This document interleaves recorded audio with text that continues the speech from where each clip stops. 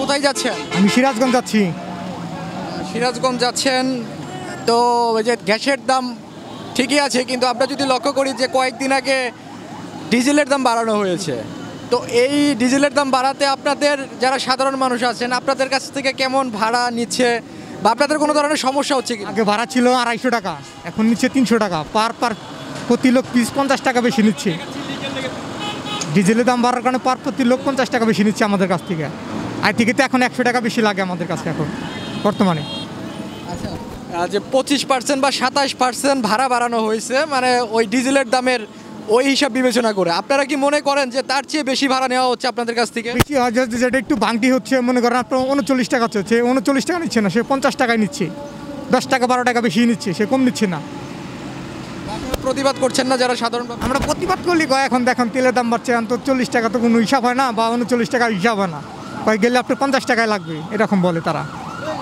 তাহলে একটা বাসে যদি চল্লিশ থেকে পঞ্চাশ জন মানুষ থাকে দশ টাকা করে নিলেও কত টাকা উঠতেছে? এই জিনিসটা কি চিন্তা করেছে? প্রায় চারশো টাকা।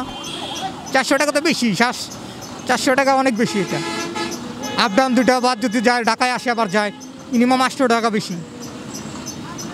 তো এই ভাড়া বাড়াতে বা হচ্ছে গ্যাস তেলের দাম বাড়াতে কি আপনি মনে করেন যে প্রত্যেকটা সেক্টরে হচ্ছে এর প্রভাবটা হচ্ছে আসলে চলে গেছে এরকম মনে হচ্ছে কিনা? অবশ্যই অবশ্যই। প্রত্যেকটা সেক্টরে তো ভাড়া বাড়ছে। আপনি ঢাকা শহরে অনেকে দেখেন পাঁচ টাকার ভাড়া দশ টাকা নিচ্ছে।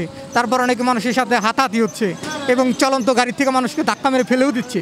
এরকম ঘটনা কিন্তু কালকেও ঘটছে। দেখছেন আপনারা চিটাগাঙ্গে দেখছেন আমি খবরটা দেখছি। চলন্ত গাড়ি থেকে ধাক্কাতে কিন্তু ফেলেও দিচ্ছে মানুষকে। পাঁচ টাকার ভাড়ার জন্য কিন্তু।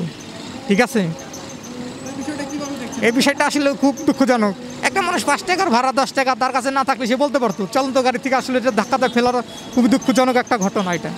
খুবই দুঃখজনক। একটা মানুষের হাত পা ভেঙেও যেতে পারে পাঁচ টাকার জন্য তো এটা বড় বিষয় না ঠিক আছে? এটা মনে করেন আপনার দুঃখজনক ঘটনা খুবই খুবই দুঃখজনক ঘটনা এটা। মনে করেন যে ভাড়া যে পনেরো টাকা হঠাৎ করে বাড়ানো হয়েছে তো এটা আপনাদের কাছে মানে অত্যাধিক বেশি হয়েছে বা কি মনে করেন এটা? এটা আমাদের কাছে না এটা বাংলাদেশের জনগণ যারাই আছে সে আপনি মনে করেন আপনি যদি কোনো বাচ্চা ঢাকা শহরে সার্ভিস করেন আপনাকেও ভাড়াটা কিন্তু বেশি দিতে হচ্ছে। ঠিক আছে? আমারও দিতে হচ্ছে এবং জনগণ যারা আছে সবাইরে ভুক্তভোগী হিসাবে এটা দিতে হচ্ছে ভাড়াটা বেশি। সবাইরই আপনার তো ডেইলি ইনকাম সেই ইনকামের ইনকাম দিয়ে কি আপনি কি এগুলা কি ভালোভাবে কি কভার করতে পারছেন? আচ্ছা না একটা মানুষ যে ঢাকার দিকে আগে আসতো মনে সাতশো টাকা এখন যদি এক হাজার টাকা লাগে একটা মানুষের ব্যয়বহুল আসলে এক হাজার টাকা ইনকাম করার তো সোর্স নাই। অনেক মানুষ ঢাকা শহরে এখন আছে অনেকে প্রতিদিন চারশো টাকা পাঁচশো টাকা কাজ করে।